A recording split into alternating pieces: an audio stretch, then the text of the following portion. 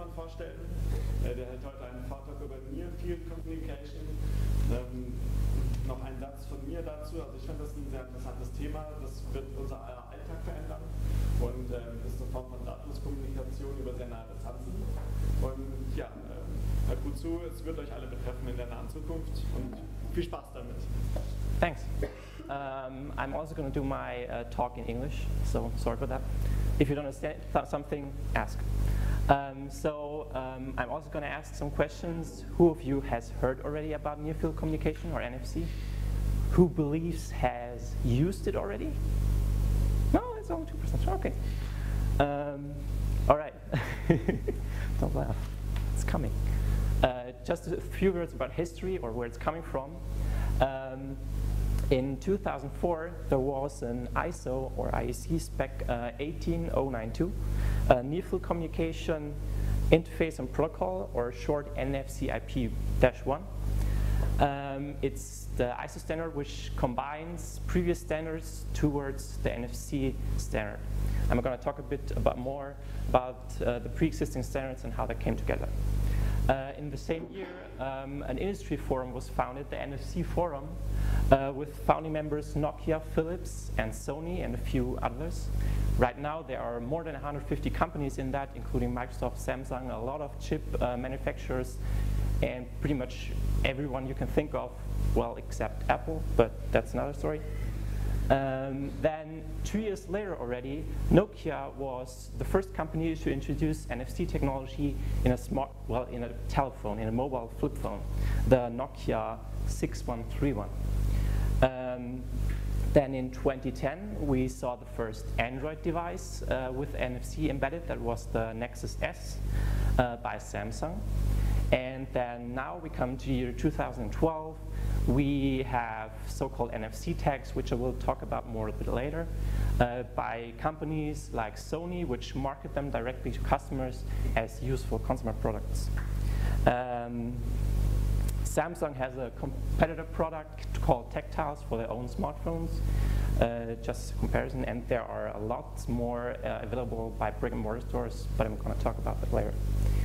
Um, just to give a little bit of highlight what happened the last few weeks, uh, MasterCard released um, their PayPass SDK, which is um, an application development kit for Android or BlackBerry, which allows you to implement their wireless NFC PayPass technology uh, into any app you decide, and you can then use it uh, with your smartphone to pay or do whatever financial transaction you desire with MasterCard. All right. Um, so a few words about where NFC technology is coming from. Uh, as Mr. Grillmeyer talked before me, um, there were these previous existing smart card, contactless smart card standards uh, based on ISO 14443. And there's an additional one in Japan by Sony, which is called Felicia or Felica or whatever you want to call it. It's short for Felicity cards. Uh, both of those are currently in use, for example, by paying uh, for paying in the metro. If you have been to London, you know the Oyster card, which basically just swipe or a terminal and then you pay your fare. Uh, the same is Felica. It's used in Japan and more widely throughout China and over the whole world, as you uh, have heard by Lucas. Uh, RFID technology, that is RFID technology, I should mention, is used in a lot of places already. Um, this, these RFID technologies are mainly based um, on, a, on the concept of having a reading device and having a passive card. So you always have an active and a passive component. Now if you go to NFC, which um, includes these standards and further refines them, um, devices can actually switch modes. So they can become active and passive um, in different times. These are then called initiators for the active device and uh, targets for the passive device. Uh, and those can switch roles at pretty much any time they want in uh, their communication. Um, NFC restricts the band which is used to 13.56 megahertz, the same as the contactless cards in the ISO 14443 standard. Um, and furthermore, uh, bandwidths are are restricted to 106, 212, or 424 kilobits. So that's not a lot, but still a little bit less than Lucas told us about 800 kilobits for RFID, which is possible. Um, and NFC, as it builds up on those uh, previous standards, is also compatible with these. So it would be possible to just exchange uh, current contactless cards with an NFC device which emulates an old card. So for, uh, so for example, for Transport for London, you could just exchange uh, those Oyster cards with your phone and it would work just the same. Um, then what about data exchange? Um, when you exchange data, you probably need a packet format or a data exchange format. For NFC, that's specified by, by the NFC forum about two years later in 2006. And that was called, is called NFC Data Exchange Format, or short NDEF. Um, it consists of so-called NDEF messages. Those messages have uh, records, an unlimited amount of records, I should say. It depends on the application, how much you want to put in there. There's always a beginning record, which signifies the begin. There's records in between, which can also, again, embed another NDEF message. And there's an end record signifying the end of one NDEF message. Um, the records themselves, as I said, are unlimited. You can have as much as you want of them. Uh, the data format of those is defined by uh, so-called NFC forum types. Those are predefined by the NFC forum, like for text, URIs, or a new smart poster standard where you have uh, actions embedded in a poster. So for example, if you scan a poster, a website opens or an SMS gets pre-filled, and you can send that, uh, similar to that. There's also a signature record type where you can embed um, cryptographic, cryptographic keys inside a tag so you can authenticate the message you're reading. Um, however, you can also use any MIME type you wish, or you can define your own URI types. Um, also, there's some fun stuff where, where you can do where, where, you can link records to each other, so you can have uh, composed messages, and of course, as I told you, you can nest them inside. Then about applications. The NFC forum promotes applications in the area of access control, like in uh, RFID, we have seen for RFID, uh, consumer electronics, which is probably the biggest market right now, uh, healthcare, as we have heard, information collection and exchange, loy loyalty and coupons, which is also a big thing, including payments, and then, of course, as I told you, transport systems, like public transport. So I'm going to go, go, through some of the most popular applications. Uh, the first one are so-called NFC tags. Um, I have one with me right now. So it's basically a small circuitry as you have seen. And I give it around, you can pass it around. Um, and these are basically small storage devices where you can put up to a kilobit, uh, kilobyte of data on them. And they are read and written by an active NFC device. So those tags are completely passive. They don't emit any signals of their own unless you put a device on it and it manipulates the field through induction. We've heard that before. Uh, you can store um, inf uh, information like URLs or text, uh, business cards, for example. You can have small business cards uh, with an RFID, um, sorry, NFC tag embedded in them. Um, and as I also said, you can um, program them with actions. So uh, a common use case right now, which is uh, exploding on the internet, is you have an application on your phone, NFC-equipped phone, like from Sony with their smart tags, or NFC Task Launcher, if you know that from Android, where you can uh, program the tag with an action like switching your navigation system on and connecting to the car's Bluetooth uh, stereo system if you place your phone on a tag in your car, for example, in the morning, so you don't have anything, you just place it there and everything activates by itself. Same goes for website URLs and uh, Satorio. All right. Uh, those stickers come in various forms, as I already told, uh, like smart cards, wristbands, everything you can imagine. Then the next usage scenario is sharing, of course. With Web 2.0, we saw the rise of sharing everywhere. It is popular to share content with your friends, family, and friends. I already told them. Um, for the purpose, there is a protocol called Simple NDEF Exchange Protocol, or short SNEP. Um, it is a simple request response format uh, based on a client server architecture because we only have two devices, an initiator and a target, and they can then exchange information at will. Common use cases are to share contacts, links, again, or small photo photos because the data rate is really slow.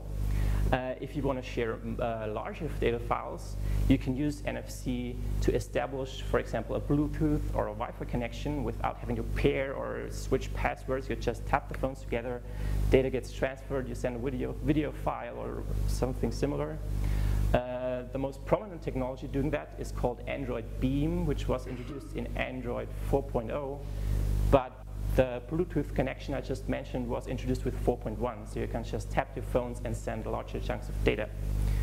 Uh, Windows 8 and Windows Phone 8, which are upcoming operating systems by, well, they are technically already released by Microsoft, um, except for Windows Phone, uh, which is coming about, hopefully. Um, they have NFC included in the operating system. So for example, for Windows Phone 8, it is mandatory that every phone has an NFC interface. So uh, Microsoft is betting big on that technology, as are a lot of other companies. If you have seen smartphones come with NFC technology embedded like all the time, except for, um, except for Apple, again. But we don't know what they're doing. If they're waiting out for something, we'll see.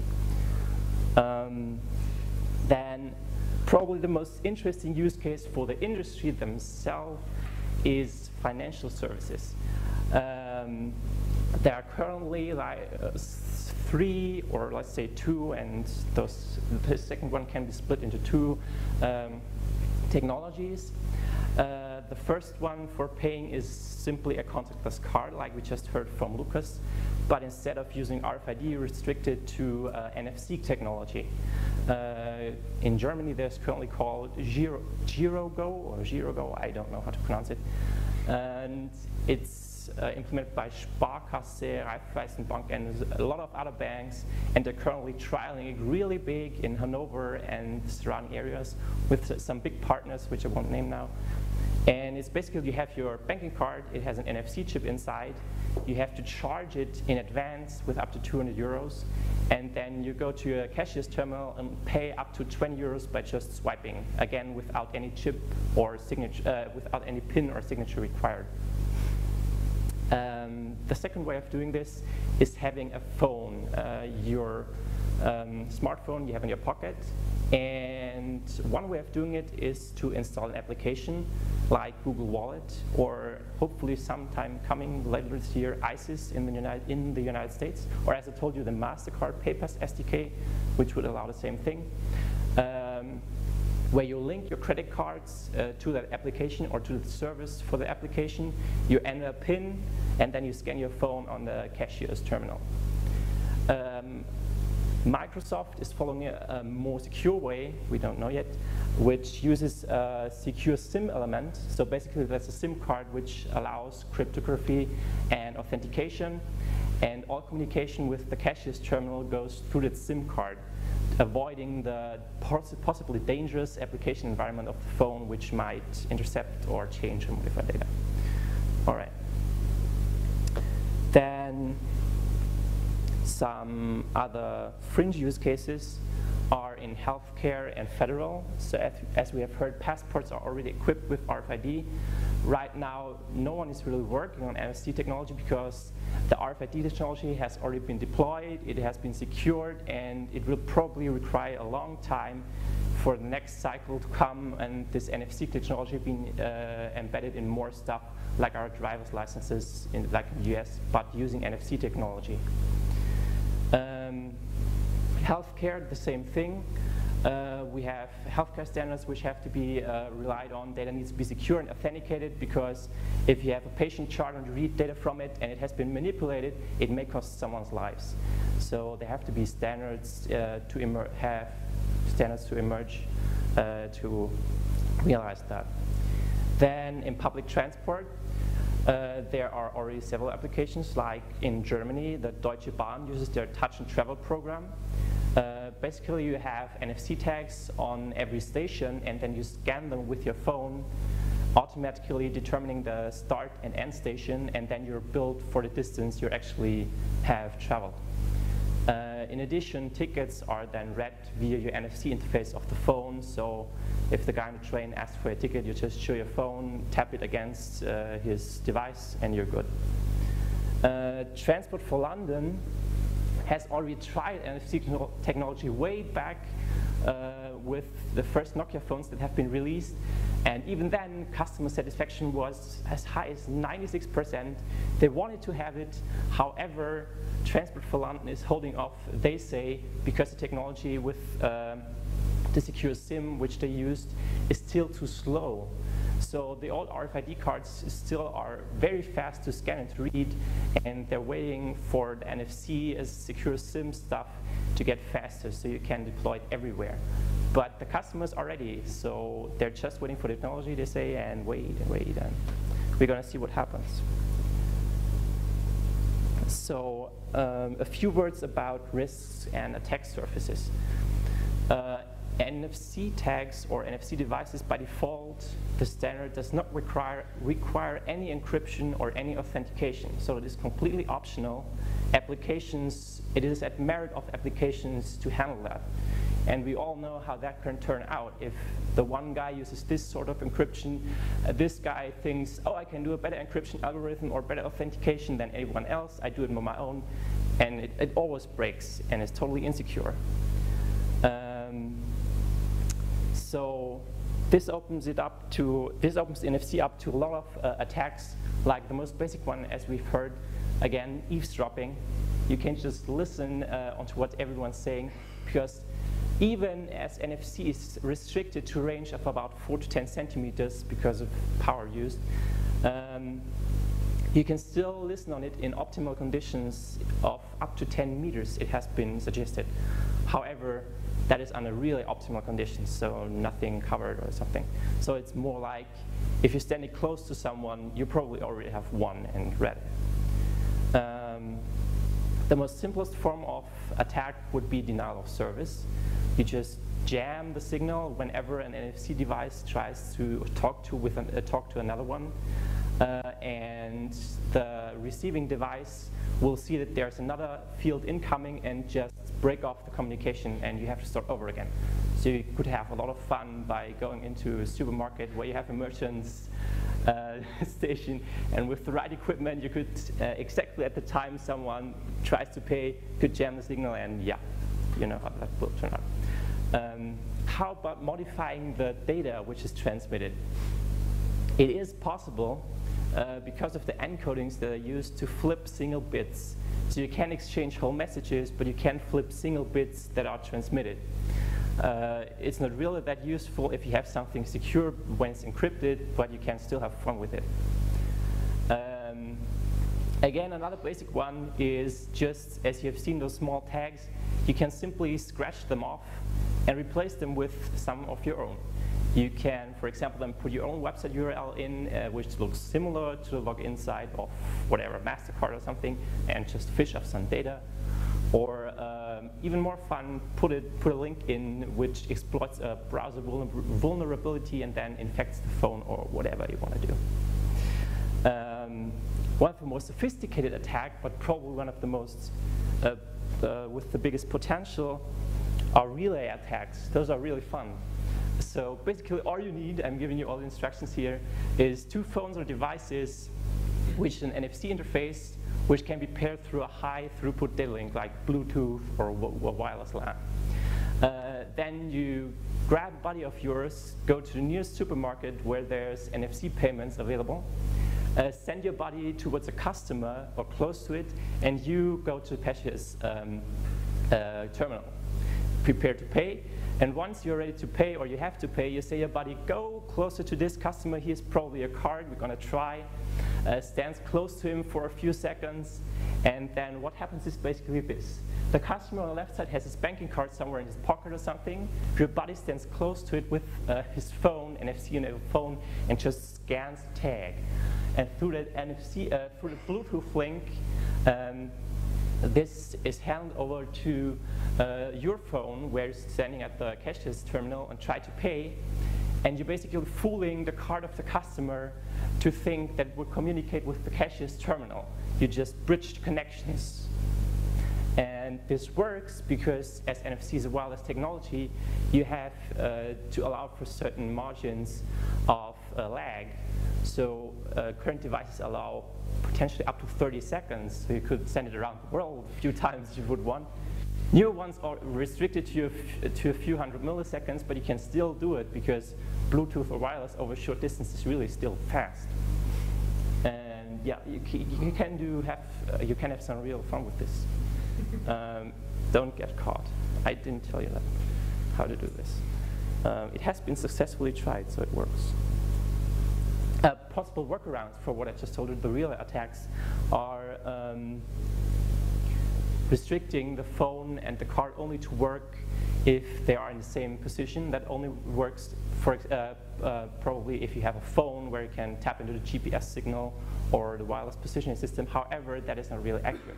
It has just been suggested that that might be an influence factor to determining if you should go through with a transaction or not. However, there are probably solutions being worked on, including, no, encryption doesn't work, of course. That's, that's, all right. Um, then as you can see, man in the middle is crossed out because technically you can't really do it. NFC is designed as a one-to-one -one, uh, communication um, protocol. And once you have a third device generating their own magnetic field, the other device is just shut off. Because you say there has been an error, I can't understand the other device, device. So as soon as there is more than one magnetic incoming magnetic field of your man-in-the-middle device, everything breaks. So man-in-the-middle is impossible. Um, except implementation, implementation is bad of the standard, but the standard requires it, that the connection breaks off if there's another field. Uh, then, of course, as I told you, implementation vulnerabilities. Application developers make mistakes. It doesn't always work out as they intended to. Um, I'm going to show an example later on.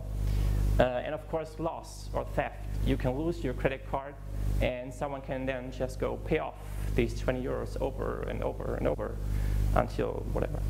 Um, however, to prevent this, you can have sane limits, like you always have to approve if there's an incoming NFC connection. Have you time for this? Oh, okay. Uh, for example, Charlie Miller told uh, or showed at Black 2012, uh, so a few weeks ago, uh, that by default Android Beam, as I told you, this sharing technology, uh, is not really secured. So you can just come on with your own device which implements the protocol, tap it to any device, and the receiving device, as, um, as it is unlocked, or if it is unlocked, will just accept it, the incoming message, and then open the web page you have sent it, or open a PDF document which includes the vulnerability, and then you're screwed. Um, yeah. So to circumvent that, just have same defaults. Always have the person confirm it. So do you want to do this or do you want to pair the Bluetooth device? So for Bluetooth, they're asking, but not for other stuff. Uh, or with Nokia and their MeeGo operating system, they also have uh, NFC baked in. Um, you can flip a switch, but it's sadly enabled by default that you uh, are getting asked each time for every form of data you receive. Do you want to do this? Do you want to view the bookmark? Or do you want to discard it? So it's simple to uh, prevent uh, malicious activity, but uh, the guys have to implement it. Uh, again, you can encrypt the connection. It's relying on the application, and you can authenticate. As I told you, there's a signature record type.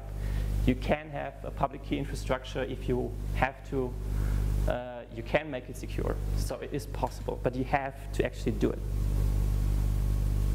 So what's going to happen with NFC? Uh, standards uh, are probably going to emerge. Uh, for example, the payment companies have formed a consortium and they're hoping to talk to each other and then go to a streamlined industry direction. So they have one payment solution and not 500 where you have to choose. Um, Implementations will hopefully get more secure over time as with every software that is openly available, hopefully. Then because NFC is so easy to use, it just requires tapping your phone to another phone or tapping your banking card uh, to the merchant's terminal. It is coming. People are going to use it because it is so dead simple. Uh, to set things up, for example, a Wi-Fi connection, you just tap your phone, connection details get transmitted, it's set up instantly. It's going to be used everywhere. So it is going to be soon, if not, if it is not already in a device near you, except, well, the Apple devices, we're gonna hold out on that and hope, but we can't do anything. And meanwhile, um, if you wanna prevent anything happening to you, just turn the NFC off. There's an off switch in every phone I know, I know. So if you don't wanna get data stolen or whatever hacked, just turn it off, like Bluetooth. But hopefully it will change. It doesn't end up like Bluetooth where you have to always turn it off. But we're going to see. So uh, thanks very much, and I'm open for questions.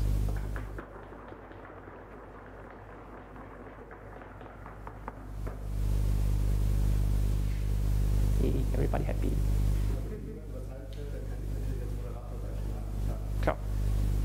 Wieso nicht Apple? Ich habe keine äh, Einblicke in Apples Infrastruktur, aber es, es wird vermutet, dass Apple also entweder noch abwartet, dass sich die Standards vereinheitlichen, weil wie gesagt, es gibt zurzeit äh, Windows und Microsoft mit ihrem eigenen Standard, mit der Secure SIM, dann Google Wallet und das ISIS-System, das Anwendungen benutzt, um Kreditkarten äh, zu verbinden. Dann gibt es noch von Mastercard und Visa, wie wir gesehen haben, äh, die RFID-Karten, die sind jetzt zwar nicht NFC, äh, NFC, aber werden es demnächst mit dem Papers SDK. Und es wird vermutet, dass Apple einfach noch abwartet und sich nicht da reinstürzen will und sich auf eine Technologie festlegen will, äh, die dann vielleicht nicht so gut ist wie die anderen. Weil, wie man ja weiß, Apple Devices sind jetzt ein Massenmedium und wenn Apple das implementiert, dann machen es alle so. Und wenn es dann äh, irgendwelche großen Probleme gibt, dann zeigen natürlich alle auf Apple, ja, ihr macht doch immer die tollen Sachen und es ist super gut immer, was ihr macht, aber in dem Fall, ja. Es ist ein Grund, der vermutet wird, aber natürlich weiß es keiner. Gibt es dann eigentlich äh, irgendwelche Konkurrenztechnologien zu diesem NFC? Äh, Konkurrenz im Bereich von. Ähm, in Communication, also wo es halt Technologien, die etwas ähnliches machen, die dann so Also wie gesagt, es gibt die Vorgängertechnologie RFID, die immer noch sehr stark benutzt wird, zum Beispiel von Visa und Mastercard, die kontaktlosen Karten benutzen RFID und nicht NFC, die sind schon etwas älter. Und es gibt natürlich noch massig Anwendungen, zum Beispiel im öffentlichen Nahverkehr, die alle noch RFID weltweit einsetzen. Die Technologie gibt es einfach schon länger. Kann man für die auch, äh, gibt es ja eigentlich für diese RFID-Chips auch quasi diese Lesetechnologie für Smartphones ohne NFC? Ähm, also NFC, der Standard, vereinheitlicht ist. Also die kontaktlosen Smartcards, die auf RFID basieren, können mit NFC-Geräten benutzt werden. Also NFC-Geräte müssen diese Karten zum Beispiel lesen können. Zum Beispiel den Tag, den ich hier rumgereicht habe, das ist ein MyFair. Äh, und das ist eigentlich ein RFID-Tag damals benutzt. Aber NFC kann zum Beispiel die, die Tags auch emulieren.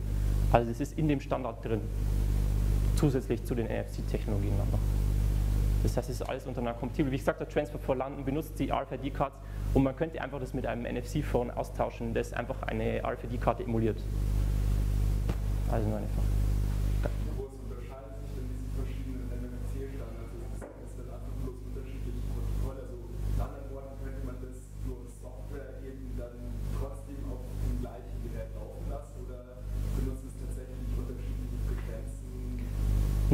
es ist, äh, baut eben auf dem ISO 14443 und dem Flickr-Standard auf. Die operieren alle in dem gleichen 13,56 äh, MHz Frequenzband und die Technologien sind alle sehr, sehr ähnlich.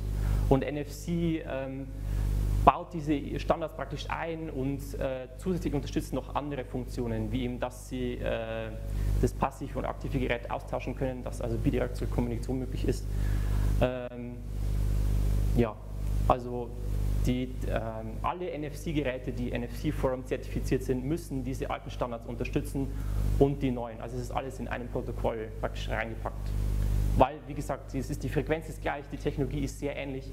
NFC hat dann bloß noch zusätzliche Restriktionen und Features.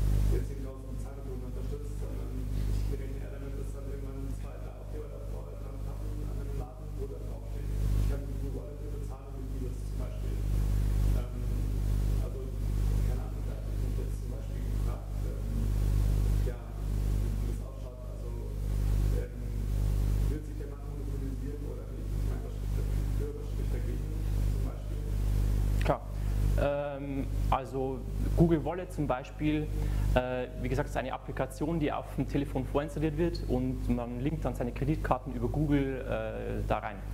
Äh, in den USA ist es zum Beispiel so, dass Verizon, das ist ein groß, der größte Mobilfunkanbieter, Google Wallet auf seinen Telefonen einfach blockiert. Es funktioniert einfach nicht. Äh, Und zwar deswegen, weil Verizon an ISIS arbeitet. Das ist ein alternatives Payment-System, es aber noch nicht veröffentlicht ist. Aber sie blockieren Google Wallet aus dem Grund, da ISIS ja demnächst irgendwann kommt. Angeblich kommt es Ende dieses Jahr, schauen wir mal. Ähm, Und der Faktor hier ist, äh, letztendlich werden es wahrscheinlich die Mobilfunkanbieter entscheiden, denn äh, die kontrollieren die Endgeräte. Also zum Beispiel in den USA ist das viel schlimmer als hier bei uns. Verizon kontrolliert wirklich komplett alles an den Endgeräten, inklusive Support und so weiter. Ähm, und wenn die Provider da nicht mitspielen mit deinem Payment-System, wie im Falle von Google Wallet, dann hast du Pech gehabt und denen ihr System wird sich durchsetzen, weil es eben auf dem Telefon vorinstalliert ist. Ähm, was haben wir denn noch? Äh, genauso, das Secure, der Secure SIM Standard zum Zahlen braucht ein Secure SIM Element. Und wer gibt die SIM-Karten aus? Die Mobilfunkprovider. Das heißt, wir haben wir die Mobilfunkprovider, die im Prinzip dann entscheiden, welche Technologie benutzt werden kann. Man kann natürlich bei uns hier einfach wechseln und ähm, dann auf einen anderen Standard vielleicht umsteigen. Vodafone haben wir O2, alles Mögliche. Die trialen, glaube ich, alle um. Ähm, ja, es gibt aber jetzt seit ein paar, ich glaube zwei, zwei Monaten, gibt es ein Kon- Konsortium, wie ich erwähnt habe, mit im Prinzip allen, die ich jetzt erwähnt habe, also Google, Visa, Verizon, alle Mobilfunkprovider, in den, äh, großen Mobilfunkprovider in den Vereinigten Staaten, äh, Mastercard und so weiter, die äh, sich jetzt, also sie versprechen, sich jeden Monat zusammenzusetzen und erstmal zu reden, was denn jetzt los, was denn passiert bei ihnen, was für Technologien sie jetzt demnächst einführen werden.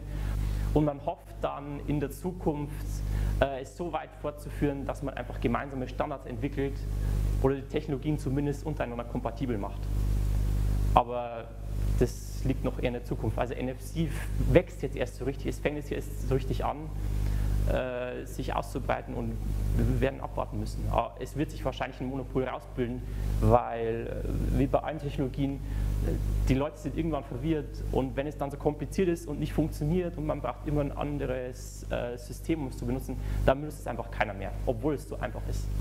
Oder es benutzen nur wenige und es sind sonst wo. Äh, sind ja nicht alle äh, NFCs sind kompatibel mit einem Also alle. Äh, nein, nur die, die eben auf diesem ISO 14443 Standard oder Felica Standard basieren, äh, das sind im Prinzip äh, die Standards, die vorher für Contactless Smart Cards verwendet wurden. Alle die funktionieren praktisch auch mit NFC-Geräten. Und äh, die anderen, die nicht äh, kompatibel sind, kann man die über das NFC-Gerät, kann man das per Software so ansteuern, dass auch ausliefert ist oder ist es einfach schon von der Hardware an? Äh, die gleiche Frequenz ist, dann kann es möglich sein, weil es ist ja dann nur Hardware, man muss dann nur seine eigene Software dazu schreiben. Das ist ja dann bloß physikalische äh, Gegebenheit. RFID benutzt viel mehr Frequenzen, wie der, äh, Lukas vorhin gesagt hat, aber NFC legt es definitiv auf 13,56 MHz fest, wie es schon vorher für die Smartless äh, Cards benutzt wurde und das wurde dann halt jetzt fest, fest äh, vorgegeben. Gut. Ist mein NFC-Tag? Die sind teuer. Es, es ist echt. Es ist, es ist echt Wahnsinn. Lukas sagt ja 5 Cent für einen billigen RFID-Tag. Ich habe für die Dinger, also es, ich muss so sagen, äh, es kommt jetzt halt richtig auf und die ganzen im Internet, die Händler bieten jetzt natürlich an und Shops sprießen aus dem Boden, die NFC-Tags in allen möglichen Formen und Farben anbieten. Äh, Und ich habe für fünf Stück habe ich 10 Euro bezahlt. Ja. Also die kassieren einen dann noch richtig, richtig ab. Aber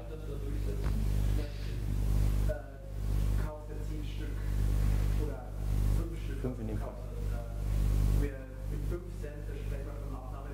Ja, ja.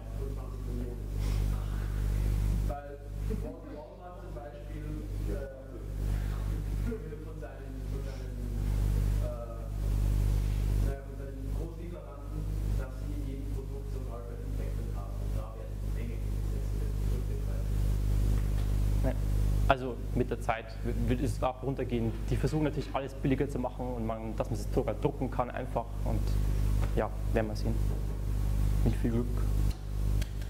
Gut, danke.